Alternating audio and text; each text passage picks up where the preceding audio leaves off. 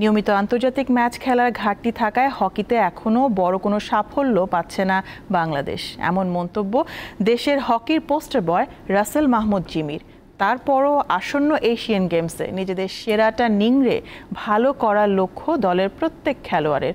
আর নতুন কোরিয়ান কোচের কণ্ঠে চমক দেখানোর প্রত্যয়। নতুন কোচ নতুন মিশন নতুন আরেকটা স্বপ্ন। এশিয়ান গেমসকে সামনে রেখে বাংলাদেশ দলকে নতুনভাবে তৈরিতে ব্যস্ত দক্ষিণ কোরিয়ান কোচ ইয়ং কিউ কিমকে। চুয়ান্ন বছর বয়সী এই কোচ বাংলাদেশ হকিতে পরিচিত মুখ। গত অক্টোবরে অনুষ্ঠিত ফ্রেঞ্চাইজি হকি লিগে রূপায়ণ সিটির কোচের দায়িত্ব পালন করেন তিনি। সিনিয়রদের পাশাপাশি বেশ কিছু নতুন খেলোয়াড় পেয়েছি। তাদেরকে নিয়ে আমি একটু বেশি আশাবাদী। লক্ষ্যটা সেমিতে খেলার। আশা করি আমার প্রথম অ্যাসাইনমেন্টে খেলোয়াড়রা আমাকে হতাশ করবে না। 지금 আশি মিলে প্রিমিয়ার লিগ সহ ফ্র্যাঞ্চাইজি টুর্নামেন্টে নজর কারা খেলোয়াড়রা জায়গা পেয়েছেন এবারে ক্যাম্পে। প্রাথমিক দল থেকে গড়া হবে এশিয়ান গেমসে চূড়ান্ত স্কোয়াড জায়গা পেলে সেরাটা নিংড়ে লড়তে চান তরুণ তুর্কিরাও। বড় টিমের সাথে কীভাবে খেলতে হবে এবং কীভাবে লিড দেওয়া যায় টিমকে যে টিমে যত লাইভ দেবো প্লেয়াররা আরও বেশি উৎসাহী হবে এবং তারা আরও ভালো খেলবে। দেশের হকিতে সাফল্য নেই বললেই চলে কিন্তু প্রতিবারই লক্ষ্য থাকে ভালো কিছু করার। দীর্ঘদিন ধরে লাল সবুজ জার্সিতে দেশকে সার্ভিস দেয়া জিমির মতে অনিয়মিত আন্তর্জাতিক ম্যাচের কারণে প্রত্যাশিত ফলাফল আসছে না। লোকাল টুর্নামেন্ট হয় না ইন্টারন্যাশনাল ম্যাচ হয় না যে কারণে আমাদের হকিটা পিছিয়ে যাচ্ছে।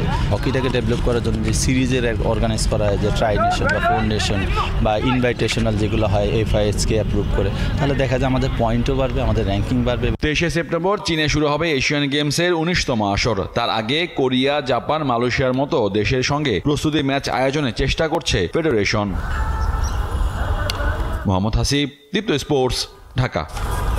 নিয়মিত আন্তর্জাতিক ম্যাচ খেলার ঘাটতি থাকায় হকিতে এখনও বড় কোনো সাফল্য পাচ্ছে না বাংলাদেশ। এমন মন্তব্য দেশের হকির পোস্টার বয় রাসেল মাহমুদ জিমির। তারপরও আসন্ন এশিয়ান গেমসে নিজেদের সেরাটা নিংড়ে ভালো করার লক্ষ্য দলের প্রত্যেক খেলোয়াড়ের। আর নতুন কোরিয়ান কোচের কণ্ঠে চমক দেখানোর প্রত্যয়। নতুন কোচ নতুন মিশন নতুন আরেকটা স্বপ্ন এশিয়ান গেমসকে সামনে রেখে বাংলাদেশ দলকে নতুনভাবে তৈরিতে ব্যস্ত দক্ষিণ কোরিয়ান কোচ ইয়ং কিউ কিমকে চুয়ান্ন বছর বয়সী এই কোচ বাংলাদেশ হকিতে পরিচিত মুখ গত অক্টোবরে অনুষ্ঠিত ফ্রেঞ্চাইজি হকি লিগে রূপায়ণ সিটির কোচের দায়িত্ব পালন করেন তিনি